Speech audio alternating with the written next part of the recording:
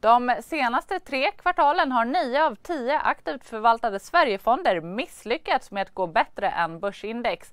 Välkommen Hans Bolander, reporter på Dagens Industri. Du har ju tittat närmare på aktivt förvaltade fonder. Vilka slutsatser kan man dra? Ja, eh, den ena slutsatsen är att det här är ett jättetufft år för aktivt förvaltade fonder det har att göra med, tror jag, det har, det har hänt saker som ingen hade förutsett, hur sektorrotation och, och liknande. Så att i år är det faktiskt så att kan, om den här utvecklingen fortsätter under sista kvartalet så kan det nog bli det sämsta året på tio år faktiskt för förvaltade fonder. När, när, bara en av tio slår index. Det är ändå det fondförvaltarna tar betalt för. De tar lite extra betalt jämfört med en indexfond för att slå index. Och, på över tid och eh, de lyckas inte med det i år. Så det, det är jättetufft. Det har också att göra med att vissa en förklaring är att vissa bolag har stuckit ut på börsen och har stuckit, mycket, stuckit verkligen mycket Evolution Gaming och, och några andra bolag. Bankaktier har gått starkt. Det finns fonder som undviker dem också. Mm. Så att, att det, men att det är jättesvår, eh, har varit svåra mark att navigera i för fondförvaltarna, det är tydligt. Men om man då eh, liksom bortser från i år som kanske har varit extra svårt. Förra året så lyckades ju drygt 6 av 10 aktivt förvaltade Sverigefonder slå indexfonder som kategori D enligt eh, den här summeringen. Så hur skulle du säga, hur är oddsen långsiktigt då? Alltså, förra året var precis som du sa ett, ett jättebra år faktiskt förvaltning och det är kul det går ju upp och ner, så är det. Men långsiktigt så är ju oddsens dåliga att hitta en förvaltare som över tid slår index. Ser man på tre år nu så är det ändå bara cirka 10 procent av Sverigefonderna som har slagit index. Eh, ser man på över tio år så, så är det, vi, vi snackar där om 10 procent som långsiktigt lyckas. Så då ska man mera hoppa från tuva till tuva och försöka hitta en förvaltare som är duktiga i vissa klimat och sen byta.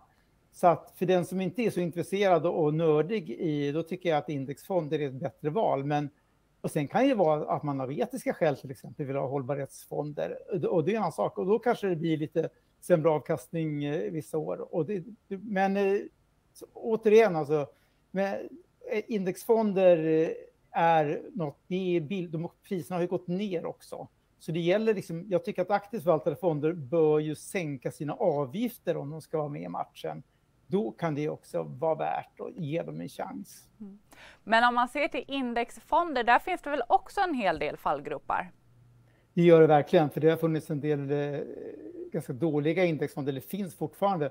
Framförallt ska man se upp med de som siktar på för smala index, kanske bara OMX30 som är börsens mest omsatta aktier och så. Först ska man välja en indexfond som har ett brett index då när det gäller Stockholm över Stockholmsbörsens alla aktier. Sen, sen är det också viktigt att komma ihåg att man ska också få ta med, det är viktigt att inte missa avkastningen som småbolag gör, så att väljer man indexfonder så välj också en småbolagsfond att komplettera med. Och här finns det både indexfonder på småbolag eller aktivt förvaltade. Här är det lite bättre track record för aktiva förvaltare, att de lyckas lite bättre.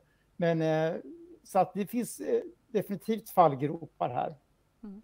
Men finns det, du var inne på att välja aktivt förvaltade fonder, kanske då kopplat till småbolag. Men skulle du säga, finns det någon poäng med att välja aktivt förvaltade fonder? Ja, det gör det. Om, återigen, om man är väldigt intresserad av fonder och följer med, kanske ser över sina fonder en gång i kvartalet och, och, och funderar på om de är värda att de ska vara med. Men den stora majoriteten misslyckas ju tyvärr. Och, och faktiskt förskräckande många ligger också nära index. Och då, där är man ju riktig loser om man väljer dem. För att om man ligger nära index och betalar 1% mer om året i avgift, det är helt poänglöst. Däremot om man satsar på en akt, någon som är aktiv förvaltare på riktigt och, och, eh, gör, och väljer ut kanske ett snävt antal aktier, eh, det känns ju mer rimligt att ta det bettet på en bra förvaltare. Men eh, som sagt, jag skulle kanske säga så här, ha en portfölj där 80 procent av ditt innehav är indexfonder och 20 procent kanske försöker hitta några duktiga aktivförvaltare.